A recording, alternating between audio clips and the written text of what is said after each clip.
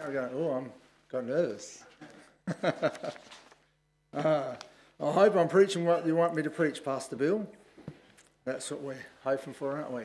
So we're going to look in uh, Matthew 28 and 19, 18 to 20. Matthew chapter 28, verses 18 to 20. And of course, we'll stand to read the Word of God.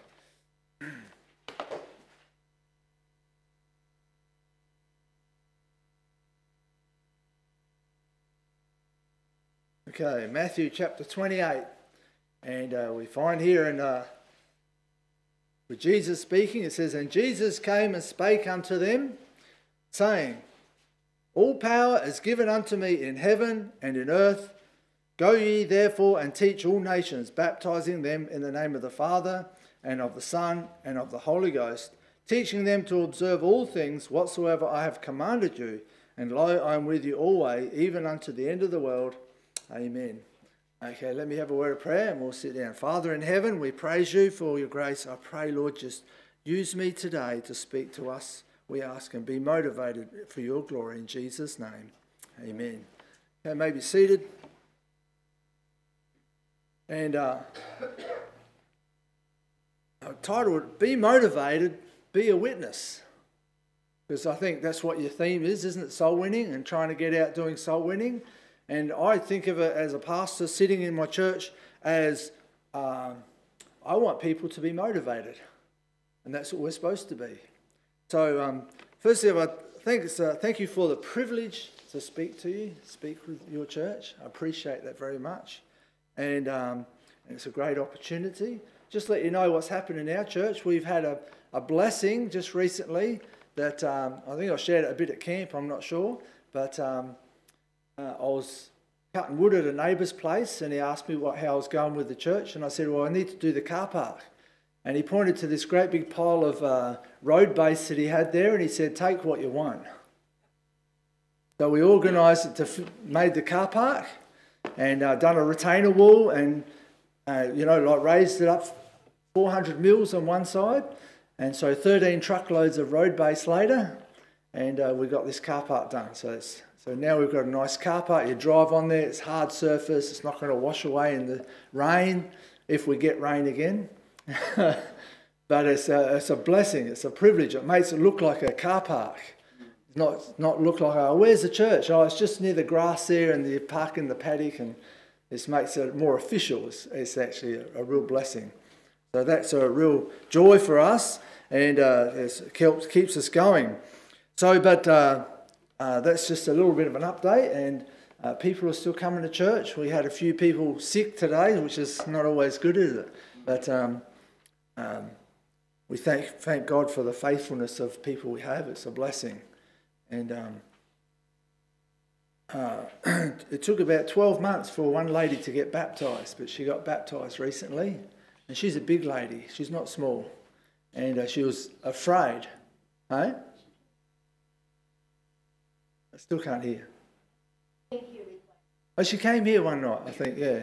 But anyhow, she's a lovely lady, and uh, and uh, she was a bit worried about it for a long time, and then uh, the Lord touched her heart, moved her. She said, "I need to get baptized. I need to serve the Lord." So and now she's starting to come to church faithful, which is good. A blessing. So on this subject, be motivated, be a witness. We're looking at the subject of soul winning, or better should we describe witnessing, trying to get out to witness. And, uh, and I think sometimes as young people or as we start get we get saved or we're starting to be involved with the church, it can be very daunting to the idea of going out to tell someone about the Lord. It can be daunting to think I'm going to go out and letterbox, walk down the street and hand, put people things in. Let, I'm going to touch someone's letterbox and and when you first do it, it can be very scary, daunting, it's uh, unnerving. And uh, uh, the idea even to approach a complete stranger and start talking to them. Some people find that very difficult. And uh, I don't know, maybe I'm just silly, but I'm just I easy to talk to people. If they're willing to talk, I'll talk. But uh, I got told as a kid I was always a chatterbox. So, and uh, Uh, that's just the way it is. You know, some kids, they won't talk to people, and other kids, they're just straight up, they're bold, and they'll talk to anybody. That was me. And, uh, but um, But there can be an idea of uh, speaking to a stranger can be scary. It can be even foreign. Or even the idea of uh, coming on a church Saturday soul winning to go letterboxing or door knocking can may, maybe even seem way too difficult for me, out of my league. Oh, I, maybe I'm not good enough or I'm not strong enough or I, I, I don't think I can do it. You, you feel like you're going to cave in because it's too fearful. But let me try and encourage you tonight that you can. It can be done. All people, it's not that hard. And, uh, and I want to encourage you. So, my first point would be witnessing. We've got to understand what is witnessing. And uh, Jesus said here in uh, Matthew, He said, Go ye into all the world and preach the gospel to every creature. We're to share the gospel. In fact, all the gospels say it. In Luke chapter 24, it says in verse 46, and said unto them, Thus it is written, and thus it behoved Christ to suffer and to rise from the dead the third day, and that repentance and remission of sins should be preached in his name among all nations, but beginning at Jerusalem, and ye are witnesses of these things. In uh, John chapter 20, verse 31, it says, John wrote, But these are written that you might believe that Jesus is the Christ, the Son of God, and that believing you might have life through his name. He, in the book of Acts, we find when Jesus ascends up into heaven, but just before he says, But ye shall receive power. And after that, the Holy Ghost has come upon you, and you shall be witnesses unto me, both in Jerusalem and in, Judea, in all Judea and in Samaria and unto the uttermost part of the earth. So we get this idea that witnessing is in the Bible. We're told to be a witness. We're told to share the gospel. We're told to go out. And uh, we, we have this idea of witnesses. But uh, we've got to understand it a little bit more. The first thing we understand is you are a witness. You already are a witness. You might say, well, how can that be? How can I be a witness? Well, if you're saved and you know that Jesus Christ has saved you and given you eternal life, well, then you are a witness of what Christ has done to you. You've already witnessed Christ doing something to you. You could write it down. First, if we have, we've received the witness, haven't we? We've received it. We've received Christ. We have the testimony that Jesus saved us, and we could share that with someone. Uh, we could share something about it, or, or something where, when, or how we got saved. I'm sure if you're saved, you can remember something the day you got saved. You can remember something. I mean, I can't remember the actual date, but I've worked it out are reasonably close to the date and I can remember events about it. I can remember what happened. I can remember what I said. I can't remember a lot of other things I said, but I can remember what I said that day. You can remember, and it's funny, it's something that stays fresh in you for the rest of your life because it was a, something that happened in your life that's a major event. And that's why Romans says, For whosoever shall call upon the name of the Lord shall be saved. Once you call on Christ, you, you receive Christ, you become saved. You have a witness. God saved you. The Lord done a work. He saved you. You, you have a testimony of that. And uh, we have that witness of the saving grace of our Lord Jesus Christ. Let me explain something about witnessing. Say, for example, you're standing on the street and uh, you see uh, a homeless man sitting on the street in the corner, and then you saw Mr. Scott Morrison walking down the road and give that homeless man a $20 note. You would have been a witness for that. What about if it's the other way around? Let's make it more personal. What about if uh, something happened in your life and some and circumstance prevailed against you and you become that homeless person? It could happen. Nothing's impossible. Lazarus was homeless, wasn't he? And uh, you're that homeless person sitting on the street and you're hungry and a bit cold, and Mr. Morrison just happened to pull up in front of your house with his, with his car and in front of where you're sitting, and he hops out the car and gives you a $100 note. Do you know you would be a witness of that, wouldn't you? Even though it happened to you, you are actually a primary, first class, on hand witness of somebody giving you a $100. That'd be pretty awesome, wouldn't it? Hey? You'd, you'd, you'd go and get something to eat, that's for sure. And uh, well, this is the same as the day that you received the Lord Jesus Christ. It happened to you. You are a witness of Jesus saving you. You remember that day you prayed and said, Lord, save me. And you remember that. It's, it, you, it's a testimony in your life. And if somebody said, What happened to you that day? you could probably share something about that day. oh, I really bombed out. And then all of a sudden I met this guy and he just showed me about the gospel. And I said, yes, I want to get saved. And you trusted Christ. It happened to you. And uh, Christ come into your life. And so you are a witness to that. You witness that in your life. In 1 John chapter 5, verse 10, the Bible says, He that believeth on the Son of God hath the witness in himself. He that believeth not God hath made him a liar, because he believed not the record that God gave of his Son. And uh, this is the record that God had given to us eternal life, and this life is in his Son. Once you've received Christ, you've received the witness that he saved you. That's a good thing, isn't it? It's a great thing. And uh, you could testify. You knew you was lost and going to hell, and you heard the gospel, and Christ saved you. He paid the penalty in full to your soul. And uh, and when he asked, when you was asked, would you save? Would you ask the Lord to save you? What did you reply? Yes, yes. I didn't even say yes. I said, I suppose I better.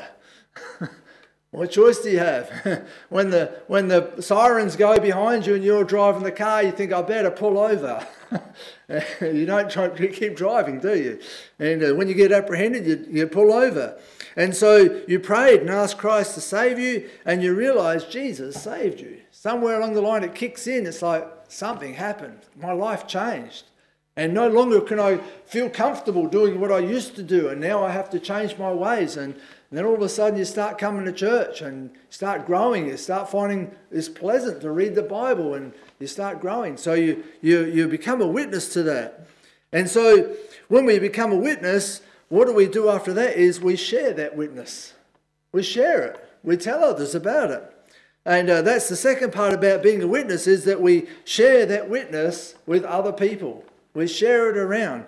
And uh, like Pastor Bill said there, it's usually people who you know are the ones you have the best testimony with. You know, it's usually the cold canvas going, door knocking, and you know, you meet people, but I found that in a general, you never see them again. I found even you you see this person you say, well, they're interested, and they even give an open invitation to come back, and, and you so you go back to their place and they're not home. And you goes, okay, I'll come back at this time. So you go back again, and oh no, she's sick today. I can't make it today. Or they're not home again. And I found you try about five times, you missed it. They can't get them again. Even though you know where they live, you know, you probably even get their phone number, you ring them up, they don't answer the phone. But you got that one little window, that one day, you've got a t- chance. And uh, so you've got to uh, take that opportunity. But uh, when you come to people you know, sometimes you can sit down and share the testimony, like those people in the basketball club, and, and you know, they'll come back and they will think about it for a while and then they'll meet you again. Somebody said some statistic takes 40 visits before someone gets saved. 40. 40. No, 40 five times, was it? Five times four or something. Maths is not my forte.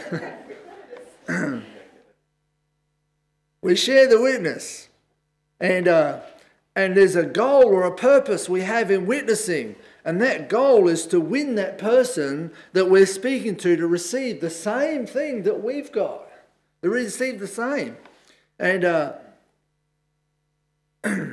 I, I know that when we come to that place of, oh, I've got to share my testimony, you know what happens? The butterflies kick in real quick.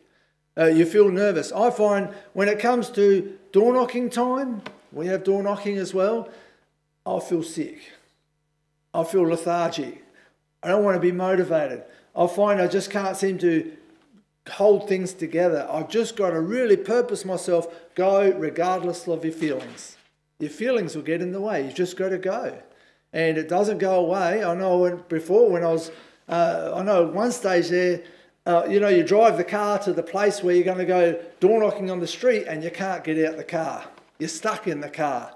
I heard one preacher say he got to this position where he'd pull up and then he'd turn the car off, wind the window down, and throw the keys on the footpath and wind the window up again. And after all, he get hot in the car and he says, I've got to get out to get the keys. And once he gets out, he says, Well, we might as well keep going now.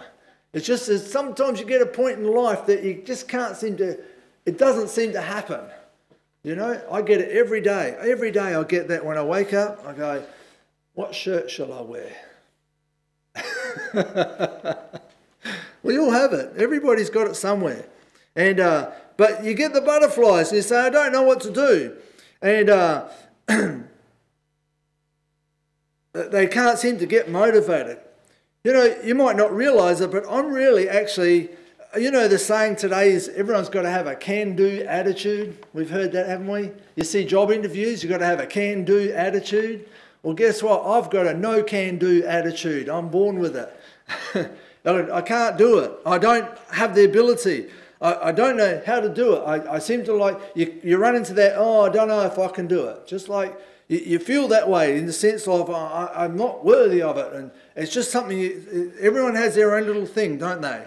And that's my little thing. I'm a no can do. You know, some people are really shy. I'm not really shy, but I'm, I, I'm like a, oh, I don't know if I can do it.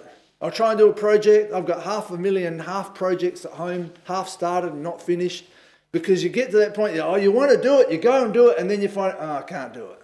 I have a no can do. But, you know, we need to have a can do, but but when you got something there, you need something to motivate you to get to do it. You need a motivation. And that's what I want to try and help you with. Have a motivation to be a witness. And we need, uh, we need to be motivated to be witnesses.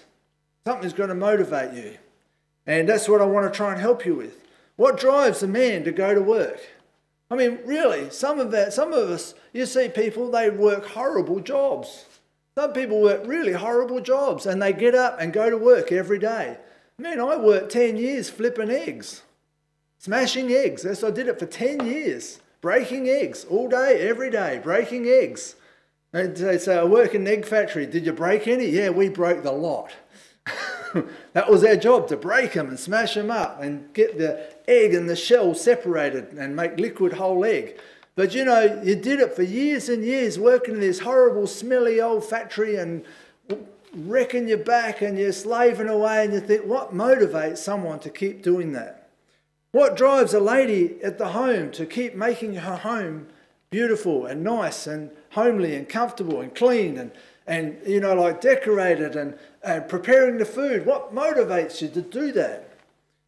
There's something that's going to motivate us. And uh, something always motivates us what, what we do. I mean, uh, you know what really would stop you? Say you got a horrible job, for example. What stops you just waking up in the morning and just saying, I'm not going to go to work today. I'm just going to sit home and watch the goggle box and watch Days of My Life all day and not go to work.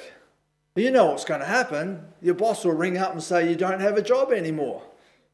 I found that out as a young person. I said, the, par- the party sound better than going to work. So I got my friend to ring up the boss and say I was sick. And so I'm okay, Ray, ready to party? Yeah, I'm going to go. And it's the door. I open the door and there's my boss. How are you feeling? Uh, oh. Here's your final pay. You're finished, you see. If you want to do what you want to do, so something motivates you. You know, money motivates you, doesn't it?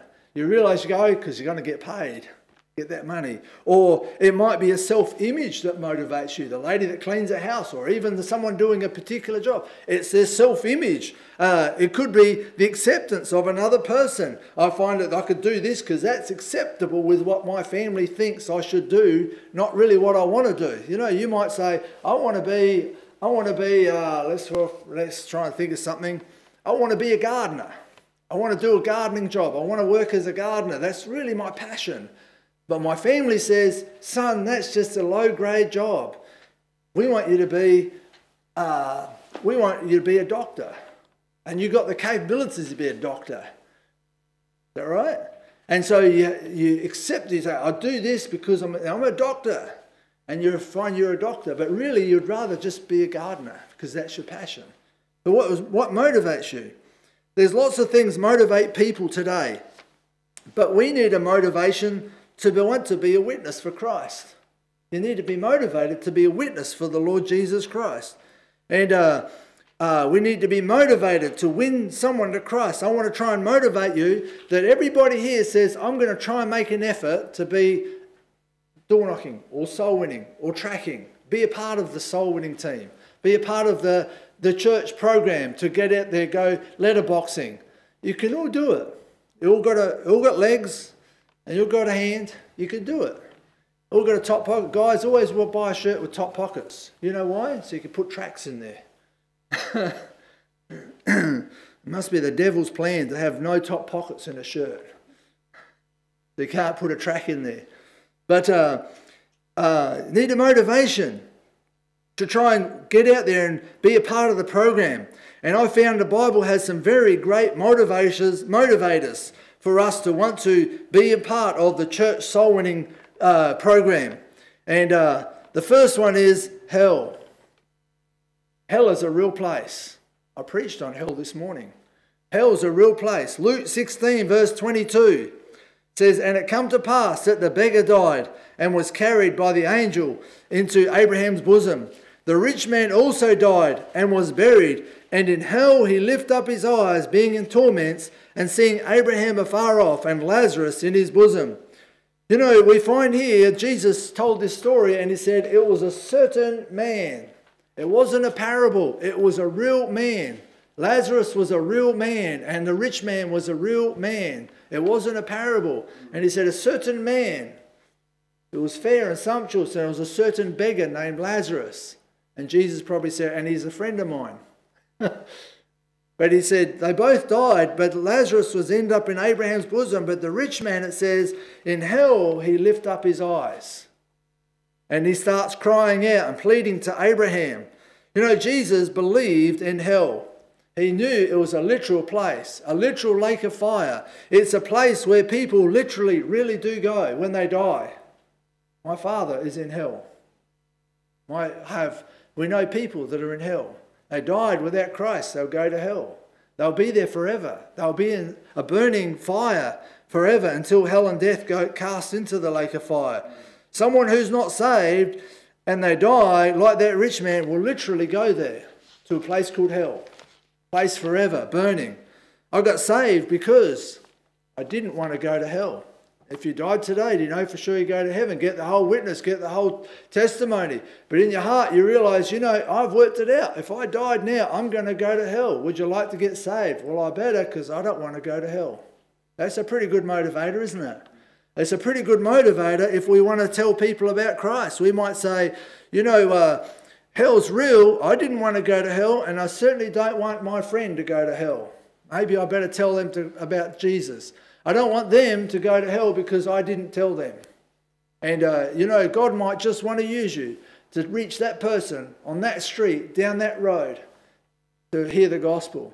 I came here to this church. I'll tell you what happened. I came here, and Pastor said we're going door knocking. And so I come home, help door knocking, and I met a Burmese man. That right? I met a Burmese man. And he said he's a Christian. So I started talking to him. And he invited me to start, he's got a home group. You probably all know him. And he's got a home group. So he asked me to start speaking there. So I started speaking there. And I think we led about four or five of the boys to Christ. Some of them are still saved. They all got saved. That's a blessing, isn't it? So God said, I want you to be there at this time because there's that person, and that person knows this person, that person, and there's a person that's going to get saved. You just don't know. God's going to use you, and you don't want them to go to hell. Another motivator is heaven. Heaven's a motivator. John chapter 14, verse 2 and 3, Jesus said, In my Father's house are many mansions. If it were not so, I would have told you, I go to prepare a place for you. And if I go and prepare a place for you, I will come again and receive you unto myself, that where I am, there ye may be also. You know, the fact that we have this opportunity to go to heaven should motivate us and be a great motivation for us to want others to come to this same great heaven. In fact, heaven is so good. Paul, when he saw it, he said, I've seen it, but I can't even tell you because it's too good. He wasn't allowed to share it because it's too good. It was a great place. He said, Heaven was a great place. And, uh, and we should be motivated to want to see others come to this same glorious place that we're going to. Heaven's a door open for all men. God wants to use us to help bring others to this same heaven that God given God has given us. And uh, it's a great opportunity. You know, you think about it. If if you had this chance to do it, would you like to do it? If I said, uh, you're not allowed to take any for yourself because you've got your two ounces of gold. I'm going to give you a bag of two ounces of gold pieces and you're going to go down in Queen Street Mall, they'll probably kick you out for not having a permit, for, but you want you to give away these two ounce pieces of gold to people. Think that'd be fun? I reckon that'd be fun. Trying to give away pieces of gold to someone. You could say, let's make a use example $50 notes. You want to, I'll go a big stack of $50 notes and I want you to give it away. Give one person $50. Every person you meet, you've got to give them $50. Would that be fun? I reckon that'd be fun. I reckon it'd be great just to see people go, really? I mean, that'd be great fun. But you know, we got something more precious than gold or silver or money. All that's going to perish. We've got heaven. And if we've got heaven, we can give it out and give it out and give it out. We never lose anything. In fact, it builds. If we don't lose, we gain. And just think, we can try and help someone to have that same gold street that we're going to go on. We have that chance. And uh, when they get saved, they'll go to heaven. And that's more valuable than gold on this earth. Another motivator we should have is love. Love is a motivator. Romans 5 8 said, But God commendeth his love toward us in that while we were yet sinners, Christ died for us. Love's a great motivator. In fact, love is one of your best motivators. And uh, uh, the fact I think about it that God loved me and gave his life for me, it's a great motivator for me to try and win others to Christ. Great motivator is love, because love will love won't look at the downside. Love won't look at the bad side. Love will look at the upside all the time. Love will look at the right side. God commanded his love to save me, and uh, I can command, uh, commend my love to others to help them get to saved. You know, I, I have some love, and I say, uh, you know, I'm motivated. I don't do it because I have to, I do it because I love people. I want people to get saved. I want them to know about the Lord Jesus Christ. You, you do it because you love them enough that you want them to go to heaven. You want, you want them to trust on the Lord Jesus Christ. You love them. And uh, we think about the love of God and the love that comes from God. That should be the real strong motivator to make you want to be a witness for the Lord Jesus Christ. How much does God love you? God so loved the world that he just passed down a few pennies. No, God so loved the world, he gave his only begotten Son. He gave the Lord Jesus Christ to willingly suffer on the cross and bear the punishment of sin on the cross and pay for our sins with his own blood, not because he had to, because he loved us. And God loved you. He, in fact, God prepared that before he even started the world. He said, I'm going to create a world, but this world will need a Savior. So I'm going to prepare the Savior first, and then I'll make the world. And then he made the world and he made it perfect. And then he said, Adam's going to fall over. And he did. And then here we are, thousands of years later, God said, I've already done it for you. Already made it possible because I love my creation. And uh, God's love in us will overcome fear. We have a fear of man. That's what stops us, doesn't it? We fear what man can do. We fear what, what's going to happen if I don't know what to say. Don't worry about it. Just give him a track.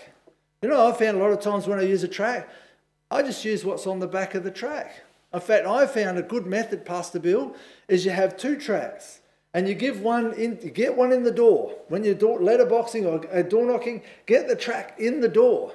And then you try and start a conversation. And when you get around the conversation, say, have a look at that track I just gave you. And they look at it and look at the back. It's got the plan of salvation there. And you hold your track up and they got their track and you can read it through and witness to them.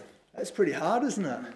That's why it's there. So you have two, one in your hand and you give one out. And then you can talk with what's in your hand.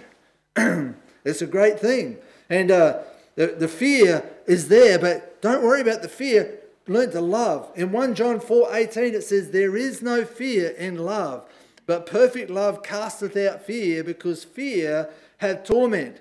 He that feareth is not made perfect in love. See, your perfect love in Christ will overcome any fear fear that you may have of people or the fear of the unknown. And if we love the Lord, if we think about it, if we love the Lord, we love our church, we love the people in our church. I hope you love one another. That's what we're supposed to do, aren't we? When we love one another, look at your brother next door, your sister next door, you say, you know, I love that person. When I come to church, I'm come because I want to give to that person. Pastor Bill comes because he wants to give to you. He loves you. He has a great love for you. You love one another. That's why you come. You've got to learn to love one another. And if you say, I love my brother and my sister, I'm going to encourage them, I'll go out witnessing. I want to encourage my brother and sister. And uh, we love the brethren in the church. We'll find we'll get motivated to be on church visitation just for a start. We say, I love my church. I love my Lord. I love my brothers and sisters. I'm going to try and be out church winning. Think about it this way the church stays alive by what we do. Think about it. If the church fails to get out there and be motivated to love one another and to love the world, well, it'll only take a generation and you'll be sitting alone, as some churches are around in the world, as just a bunch of old people because all the young people aren't coming to church anymore because no one went out to reach them. No one went out to do the work to try and reach someone. If we, didn't, if we don't go out and reach someone, guess what? This is going to be your last generation. you know, in Ephesians, it talks about taking the candlestick out. It says you've left your first love. You know what the first love is? Your love to win others to Christ. Your love for Jesus to do what Jesus wants. Your love. And uh, you, you want this church to grow. The only way it's going to grow is it's not Pastor Bill. It's everyone hold up your hand. Hold up your hand. I want everyone to be awake here. Everyone hold up your hand. Great. We've got everyone to be volunteers. Great. That's who's going to do it. It's not going to be next door. It's going to be me. I love outwardly. And for that, hey, well, I love someone I can hand a bunch of tracts out. Go letterboxing. That's really letterboxing is really easy. In fact, it's some of us olders, we need to do it to exercise, you know. The walking exercise. Yes. Here's another motivation obedience. Obedience. We all are obedient, aren't we?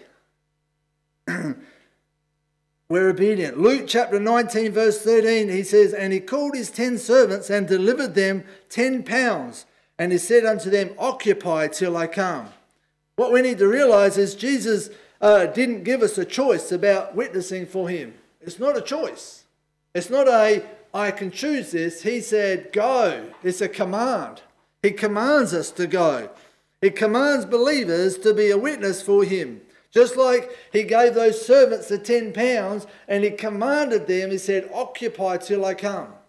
Meaning to say, he said, You're going to use that 10 pounds and you're going to gain more money with that. You've got to use it to make money.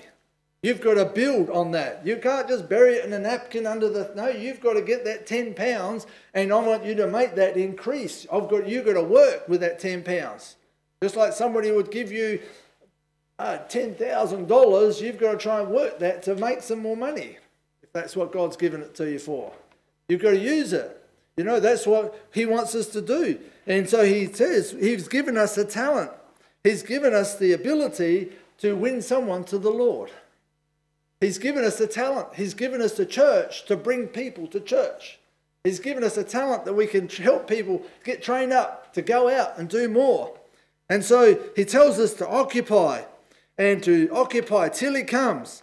And just like the brother said, we're waiting for him to come. I'm waiting for the Lord to come. And he hasn't come yet, so let's keep working. We've got to obey him, to be obedient to him. And uh, as his children, we should be obedient. And with obedience, we come to the last point is rewards. You know, if you go soul winning, there's going to be rewards. That's going to be a motivator. You go to work because you love your job, right? you go to work because you love the people at work, don't you, right? Friend, one of, I just heard today one of the guys said they had uh, the rainbow crowd having a meeting at work. And keep your personal life to personal, man. It's like, if that's what you want, you keep it personal. We're in the ark. You guys can have the rainbow. We're in the ark. and we was having a bit of a joke, you know. Maybe as Christians, we should wear flames. They, they survived the flood, but guess what? The next one's not going to be a flood, it's going to be a fire. They won't be holding a rainbow up then, will they? uh, but that's another, another kettle, but we're going to have rewards. In Matthew chapter 25, it says in verse 20, he says in that same passage about the talents, about five talents and the six talents, he says to the man with the talents, he said, uh, He received five talents, come and, and brought other five talents, saying, Lord, thou deliverest unto me five talents. Behold, I have gained beside them five talents more. And the Lord said unto him, Well done, thou good and faithful servant. Thou hast been faithful over a few things. I will make thee ruler over many things. Enter in, enter in the joy of the Lord. I don't believe God is slack in rewarding us. I believe God will bless us. He'll bless us here, but He'll bless us in heaven as well. And uh, He's given us a job to do. We do the job, and He will reward us. I mean, we like rewards, don't we? We all like rewards, don't we? I do. We like birthday presents. And uh, when I when uh, when I think about it, when I got saved, I pretty much had nothing. I had a rucksack and a small little car. That was it.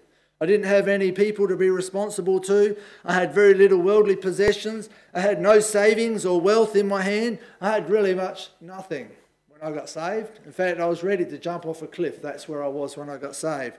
And then when I understood how God works and how He blesses, I realized in this world I may never be rich. But when I get to heaven, I want to be rich. I want to have rewards when I get to heaven. You know, you work a job. You know, if, you, if I said to you, I'm going to want you to do this job, I'm not going to pay you for 12 months, but at the end of the 12 months, I'm going to give you half a million dollars. Would you do that work for, for 12 months without pay? And half the, you'd be surprised, a lot of people wouldn't. A lot of people get halfway through and they'll bomb out. They'll say, I can't do it because I'm running out of money. I can't survive. They wouldn't work it out. You're going to borrow, beg, and steal whatever you can to get through that 12 month period to get to the, to the end of the goal. But that's what our life is as Christians. We serve the Lord, we, we obey Him, we try and win souls to Christ, and when we get to glory, He's going to reward us like we've never imagined what it's going to be like. We're going to be gloriously rich forever. I like that idea. You can have the world's gold, but I want to be rich in heaven. Because guess what? The moth's going to eat your wealth here. The rust's going to corrupt. Your car's going to rust out, isn't it? You can, you can have your nice uh, uh, Maserati or whatever you want, but guess what? The rust will come in eventually. The moth will come, or if not, someone will steal it.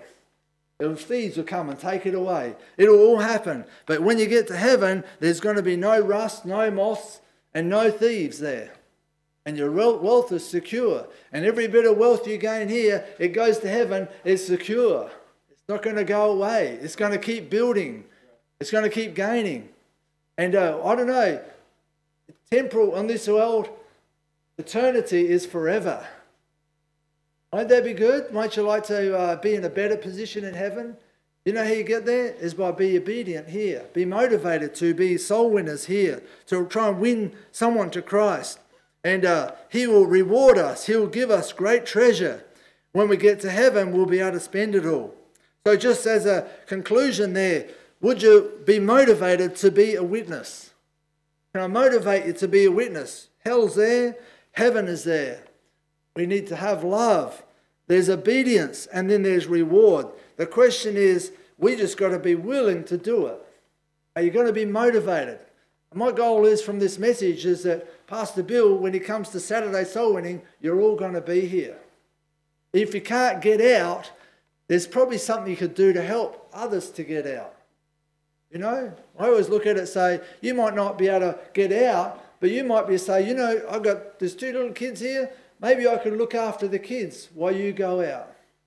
I could do something like that. Maybe I could relieve you of something so you could go out. You know, maybe whoever's doing the church cleaning, you say, Look, I'll tell you what, I'll trade places. I can't get out in the street, but I'll do your church cleaning and you can go out in the street. There's always something you can do, isn't there? There's always somewhere you can help out. And uh, maybe you can sit here, stamp the tracts. You can't get out. There's always something. Just got to be motivated to see Lord, I want to be involved in church soul winning. Let's pray. Father in heaven, I pray, Lord Jesus, you bless. And I pray, dear God, you help us to be motivated to want to win others to Christ. We ask you to move in our hearts in Jesus' name.